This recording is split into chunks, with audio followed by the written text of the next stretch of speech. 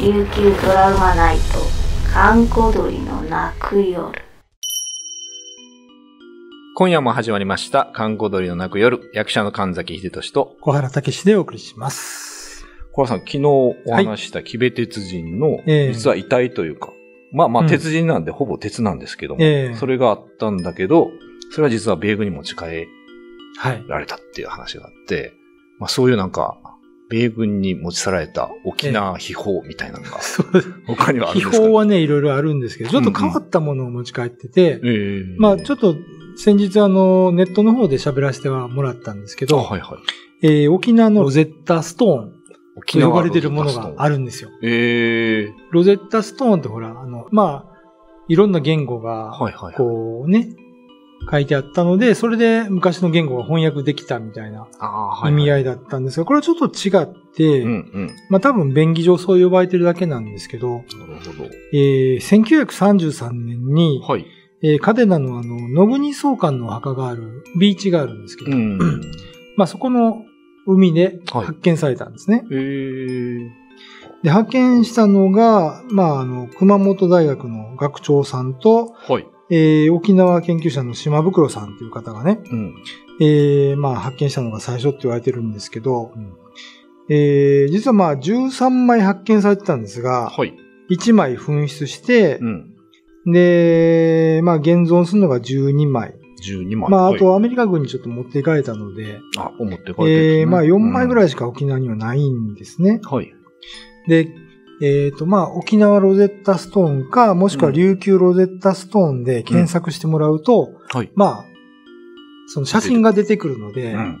一度ちょっとね、何も知らない方は、家帰ってから見てほしいんですけど、そうですね。不思議な石板ですね。僕も今これ携帯で見てるんですけど、えーそうそう、ぜひともそうですね、リスナーの方これ一回見ていただいて、そうですね。ね、話して。これでも不思議、文字じゃないですね。絵、象形文字っていうかね。象形文字というか、うん結構はっきりした絵ですよね。そうなんですよ。で、このレプリカが、チャタン二来センターの1階に展示してあるので、うん。ぜひ興味ある方は見に行ってほしいんですけど、ちゃんと展示物もあるんですね。えーレまあ、レプリカですけどね。まあ、何が書いてあるか一切不明。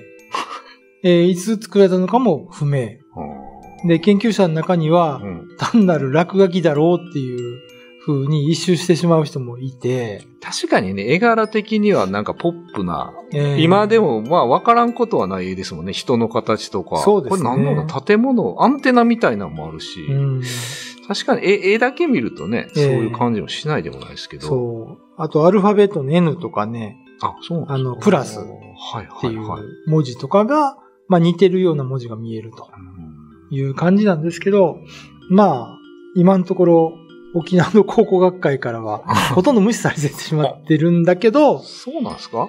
見るとやっぱ不思議ですよ。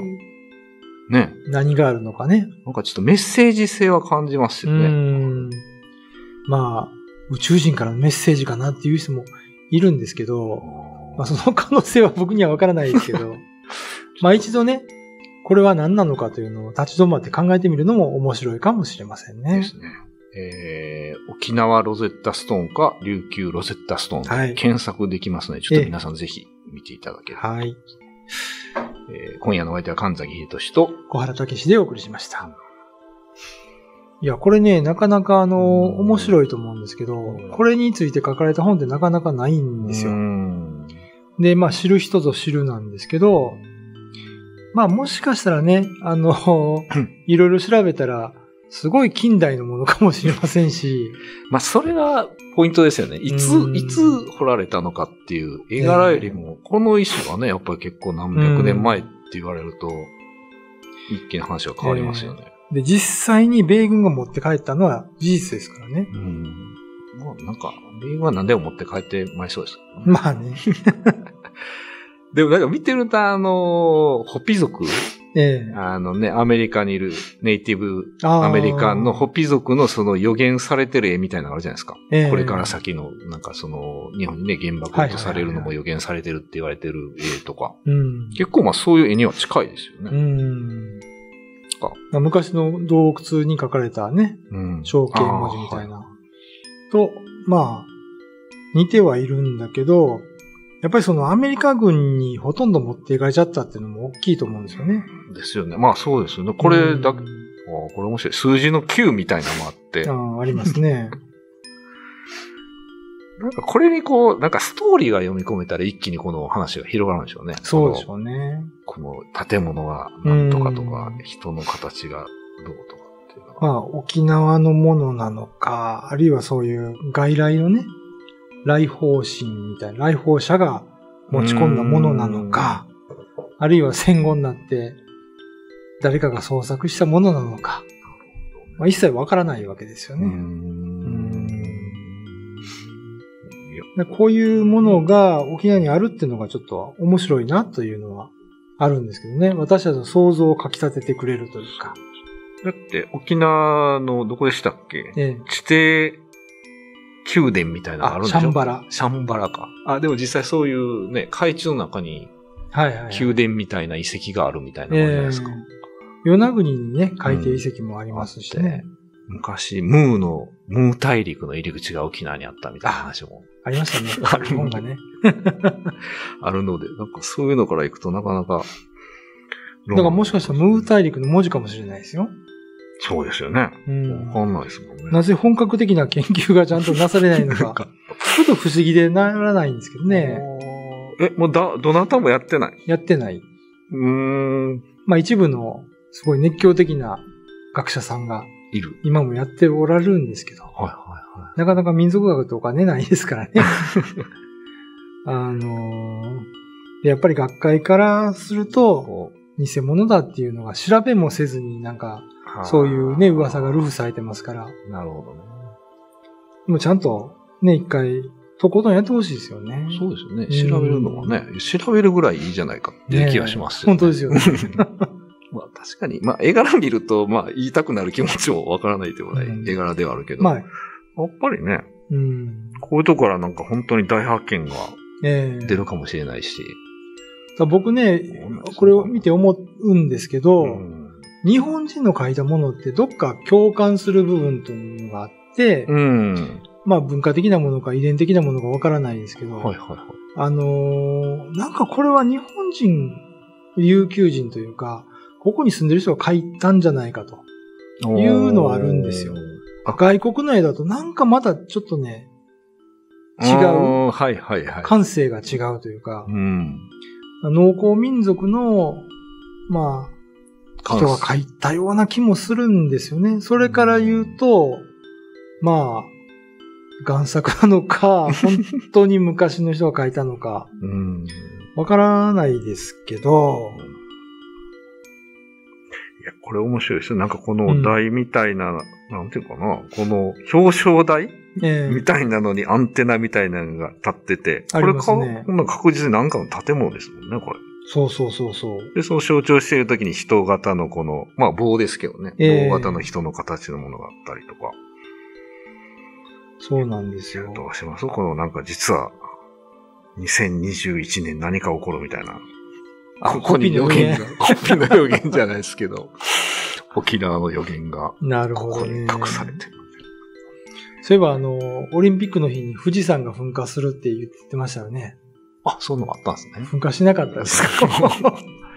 で、そしたらね、その予言をしてた人たちが違うことを言い出して、えいや、富士山噴火したと。えした。オリンピック開会式で、うん。大坂なおみ選手がうん。聖火を、こうね、やったら、ボーって燃えたじゃないですか。あれが富士山をかたどってると。まあ、予言は成就したと。言ってる方もいらっしゃいますよね。すごいな。まあ、それ言うんだったら、このローテストストーンの、うん。このあの表彰台みたいな、まさにこの、あれですよ、オリンピックの聖火台のええ絵ですよ、これは。確かにね。もしかしたらそれを表してるのか。そのうん人がね、逃げていく感じは無観客を予言してたかもしれない。ね。で、これね、いろいろ見ていくと UFO みたいな絵があるんですよ。ああ、ありますね。下から飛んでますよね。ねそうそう、飛んでる。うん上にモスクの上みたいなのがついてて、はいはいはい。下に5本線が引いてあるんですけど、あれうん UFO ですよね、これね。勝手に言ってますけど。あ、でも9、10とかも読めますそうこれ数字で9、10ですよ。でですね、実はですね、あの、もう一つ意味がわからないこういう象形文字みたいな文章があって、はいはい。えー、ユタの教科書と呼ばれているものがあるんですよ。えー時創始っていう。えー時、時間うんうん。に、双子の蓋に、はいえー、神。はいはい。まあ、後で検索してほしいんですけど、んこれ、もね、なんかわけわからん象形文字が書いてあって、えー、、で、サイオンっていう政治家が、うん。えー、ユタが嫌いだったもんで、なるほど。この時創始を、もうとにかく集めて噴書にしてしまって、で、ユタを殺していったっていう、そ魔歴史があって女狩り的なもんですか？そうなんですよ。ここれとね、ちょっと似てるところもあるんですよね。あ、時自画ですか？うへん。え。ということを学会の前で言ったら多分すごい反論されると思うんだけど。まあちょっと不思議な象形文字という点では一致してますね。そうですね。今日、何回目ですか ?90? 7? 7? 97 97回目ですね、今日はね。うん。今、あの、僕が見てる石に97っていう字が見えますね、これ。あ、そうなんだう。ん。まあ、予言されたかもしれませんね。なるほど。これ予言だったんだ。まあ、そういういろんな読み方ができる、ええーっと、琉球ロゼッタストーン。えはい。えーちょっと皆さん、ぜひ検索してみていただければと思います。よろしく。神崎リトシと、小原武史でお送りしました。YouTube のチャンネル登録、高評価、Twitter のフォロー、よろしくお願いします。ポッドキャストも配信中。詳しくは概要欄まで。